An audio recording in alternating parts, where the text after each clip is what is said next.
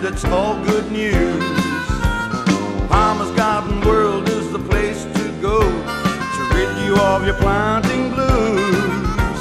So come on down, take a look around. It's all there on display.